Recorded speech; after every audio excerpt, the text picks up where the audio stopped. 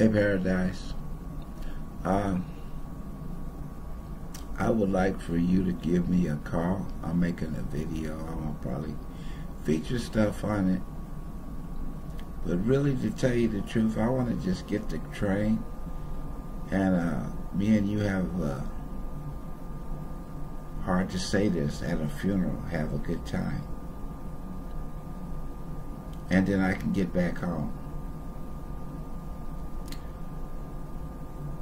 Glenn would like to take me, but that's not going to be like hanging out with you and our family.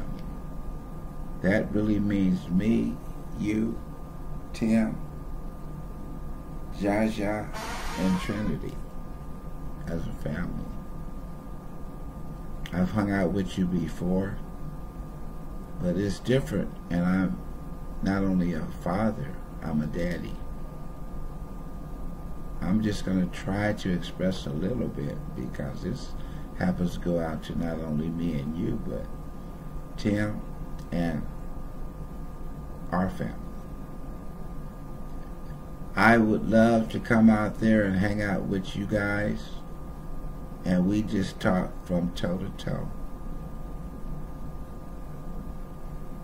I would like to talk like not as a father, not as a student, not as a teacher, not as just me, Garrett, you, and our family.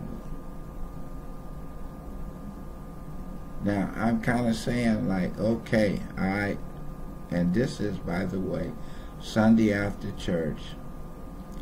Glenn would love to take me, Linda wants to take me, and everybody has an agenda. I think I want to just get on the train and go out there and have a good time with my family. Do you know we're also reuniting with your brothers and sisters? That's like my sons, my daughters, my family. And I look at it as not only a father, but a daddy. I can go on and on about this because this is very, very emotional for me. So let me just say it like that. I'm going to pause for the cars and see if I'm getting somewhere. And if not, I'll start it again. Be blessed.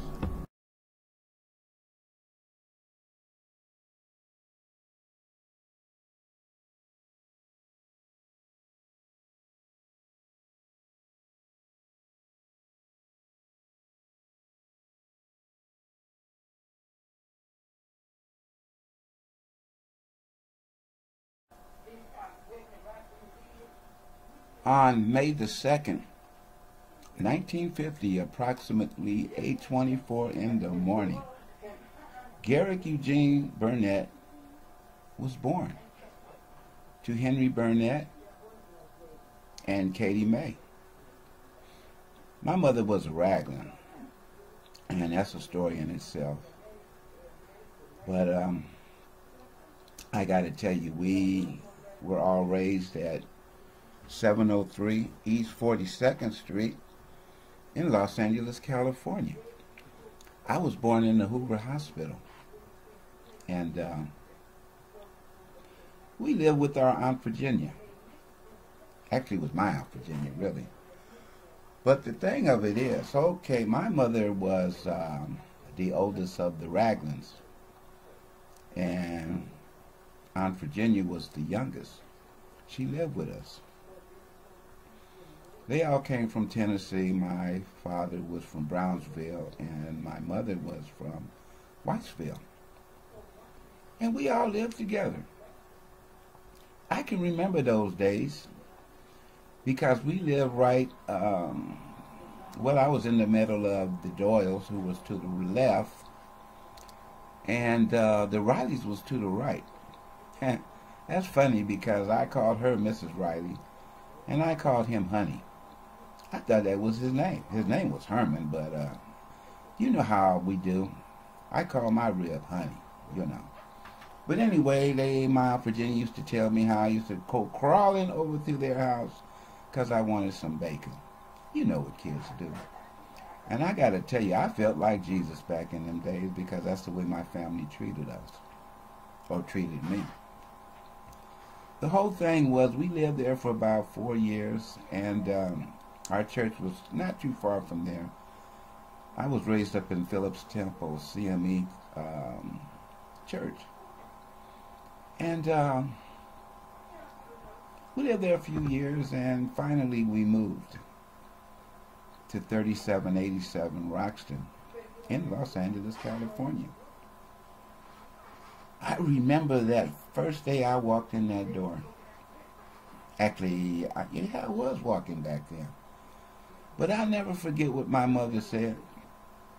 When she was out there, she used to look at Beverly Hills and she she said Beverly Hills was a trashy place. You know, my mother was kind of uppity. And before they bought that house, they lived somewhere in uh, what they called Sugar Hill. I forget the lady's name. I thought it was Miss Telemachi of all names. But anyway, um, hey, I hung out there for a while, and I remember one day we got on a plane, me and Aunt Virginia and Chico.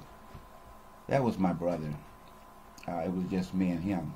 He was born in 1952. And uh, we got in a plane. They didn't have jets back then. We got in a plane, went out Virginia, and flew to, uh, I believe it was Stanton, Tennessee. And man, when I got there, life was so different. I wasn't used to a farm. We was born in the city. But when I got there, the first thing I remember was my cousin Ronald sitting on a tricycle probably in his shorts or something. I don't remember, but it was so different in life. I mean, I'm used to going to the bathroom and having, you know, that kind of stuff. No, they don't have that out there. They had what's called uh, uh, uh, outhouse, and I wasn't having it. I'm gonna leave you with this story real briefly because when I did go to the bathroom, my cousin Ronald took me out there, and I wasn't going. I seen too many yellow jackets and flying around, and you know it stunk. So I just went around, the, not around the corner, but to the next farm. And you know, back then the farms had a little place where you can go underneath the chair, and that's where I did my business at. So I'm gonna run this real briefly and um, test it out, because I'm about to uh, get into what we're gonna call the Book of Garrett. Be blessed. Hey, Paradise. Um, I would like for you to give me a call. I'm making a video. I will probably feature stuff on it. But really, to tell you the truth, I want to just get the train. And uh, me and you have, uh, hard to say this, at a funeral, have a good time and then I can get back home. Glenn would like to take me, but that's not going to be like hanging out with you and our family. That really means me, you, Tim, Jaja, and Trinity as a family. I've hung out with you before, but it's different, and I'm not only a father, I'm a daddy. I'm just going to try to express a little bit because this happens to go out to not only me and you, but Tim and our family. I would love to come out there and hang out with you guys and we just talk from toe to toe.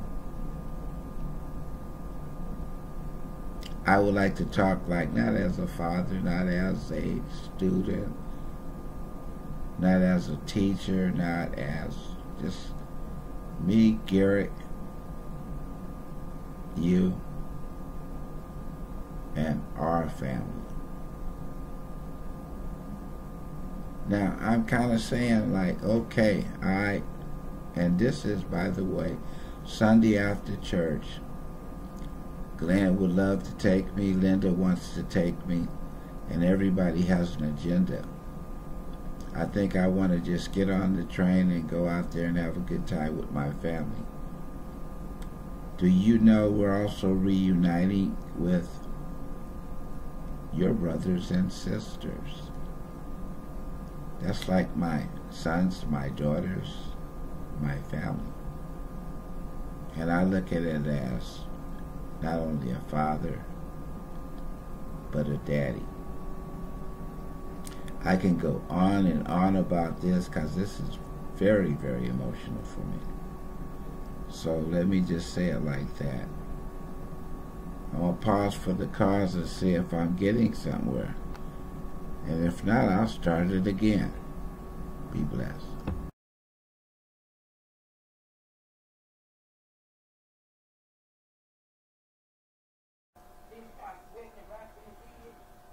On May the 2nd, 1950, approximately 8.24 in the morning, Gehrig Eugene Burnett was born to Henry Burnett and Katie May.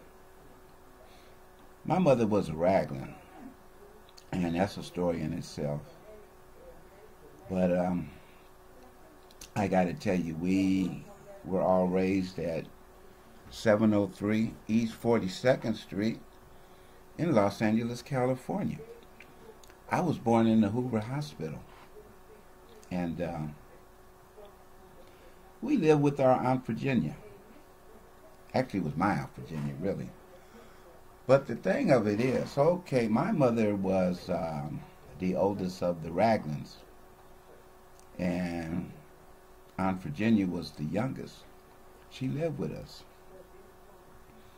They all came from Tennessee. My father was from Brownsville, and my mother was from Whitesville. And we all lived together. I can remember those days because we lived right, um, well, I was in the middle of the Doyles, who was to the left, and uh, the Rileys was to the right. That's funny because I called her Mrs. Riley, and I called him Honey. I thought that was his name. His name was Herman, but uh, you know how we do. I call my rib honey, you know. But anyway, they, my Virginia used to tell me how I used to go crawling over through their house because I wanted some bacon. You know what kids do. And I got to tell you, I felt like Jesus back in them days because that's the way my family treated us or treated me. The whole thing was we lived there for about four years, and um, our church was not too far from there. I was raised up in Phillips Temple CME um, church. And uh, we lived there a few years, and finally we moved to 3787 Roxton in Los Angeles, California. I remember that first day I walked in that door. Actually, I, yeah, I was walking back there. But I'll never forget what my mother said. When she was out there, she used to look at Beverly Hills and she bet, she said Beverly Hills was a trashy place. You know, my mother was kind of uppity. And before they bought that house, they lived somewhere in uh, what they called Sugar Hill. I forget the lady's name. I thought it was Miss Telemachi of all names. But anyway, um, hey, I hung out there for a while, and I remember one day we got on a plane, me and Aunt Virginia and Chico. That was my brother. Uh, it was just me and him. He was born in 1952. And uh, we got in a plane. They didn't have jets back then. We got in a plane with Aunt Virginia and flew to, uh, I believe it was Stanton, Tennessee. And man, when I got there, life was so different. I wasn't used to a farm. We was born in the city. But when I got there, the first thing I remember was my cousin Ronald sitting on a tricycle, probably in his shorts or something. I don't remember, but it was so different in life. I mean, I'm used to going to the bathroom and having, you know, that kind of stuff. No, they don't have that out there. They had what's called uh, uh, uh, outhouse, and I wasn't having it. I'm gonna leave you with this story real briefly because when I did go to the bathroom, my cousin Ronald took me out there, and I wasn't going. I seen too many yellow jackets and flying around, and you know it stunk. So I just went around, not around the corner, but to the next farm. And you know, back then the farms had a little place where you can go underneath the chair, and that's where I did my business at. So I'm gonna run this real briefly and um, test it out, because I'm about to uh, get into what we're gonna call the Book of Garrett. Be blessed.